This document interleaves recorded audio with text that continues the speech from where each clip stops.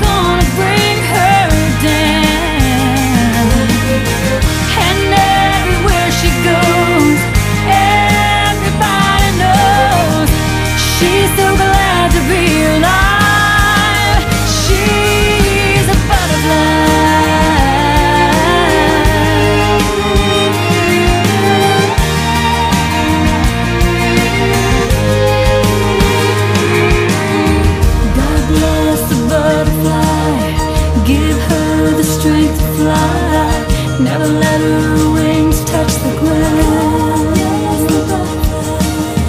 God bless the butterfly, give her the strength to fly. Never let her wings touch the ground.